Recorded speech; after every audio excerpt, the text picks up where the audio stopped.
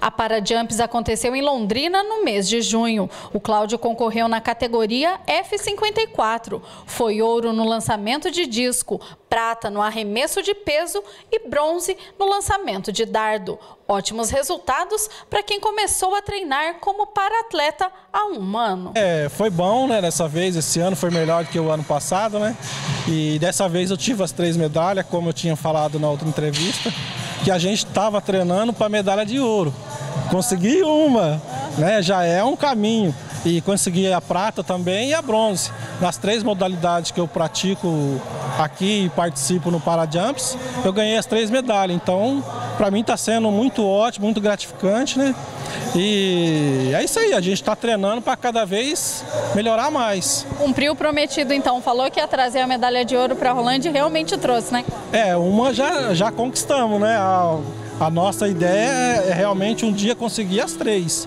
Mas já daqui uns dias a gente consegue, com certeza. Cláudio perdeu os movimentos do tronco e das pernas após sofrer um acidente. No esporte, ele encontrou um motivo para recomeçar. A gente tem que ter o foco na vida, porque do acidente é vida que segue, né?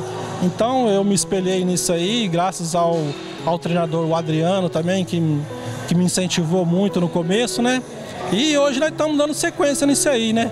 O Adriano foi o primeiro meu treinador, né? Agora o treinador meu é o Lucas, né?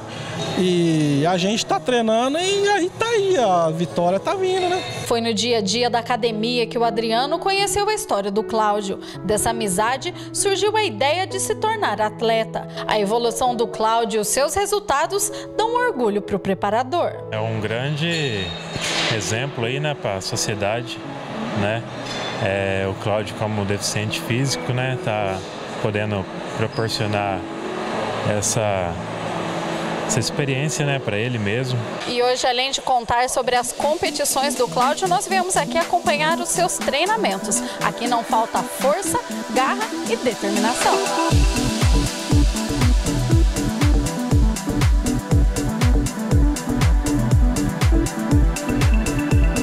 Orienta o Cláudio nos treinos é o Lucas. Ele conta que para atender a necessidade do Cláudio foram necessárias algumas adaptações. É, a adaptação é a gente teve que comprar alguns cintos para estar tá travando ele em alguns aparelhos, né, para dar uma mobilidade maior para ele. É, a cadeira em especial para ele fazer o arremesso, que tá dentro da norma, mas a gente precisa melhorar um pouquinho ela ainda para ela ser a nível de competição.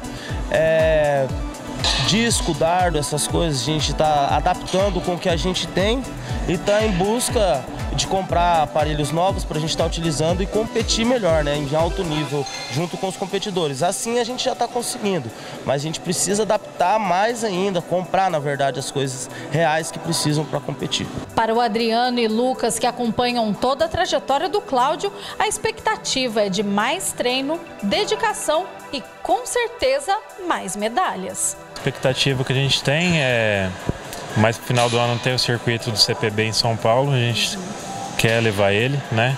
Se tudo correr bem, vamos para lá, vamos conquistar mais medalha. A expectativa é enorme, né? Que a gente quer almejar cada vez mais, mas só que para isso a gente precisa de apoio também.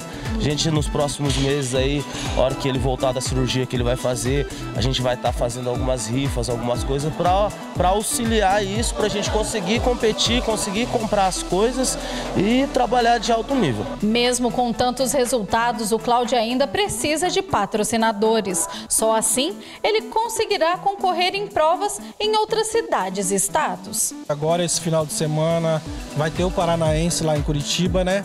Na Positivo. E infelizmente eu não posso ir porque dessa vez é por conta do atleta. Então aí para mim não dá porque fica um pouco caro. Porque a gente busca daqui, busca dali, só que a gente está indo na raça, na nossa vontade, na força dele, ele tirando o dinheirinho do bolso dele para fazer as coisas.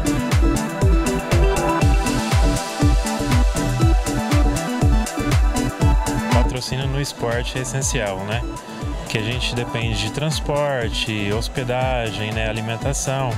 Como a gente está em um clube em Londrina, a gente ainda tem essa vantagem de ter eles para bancar as competições, né?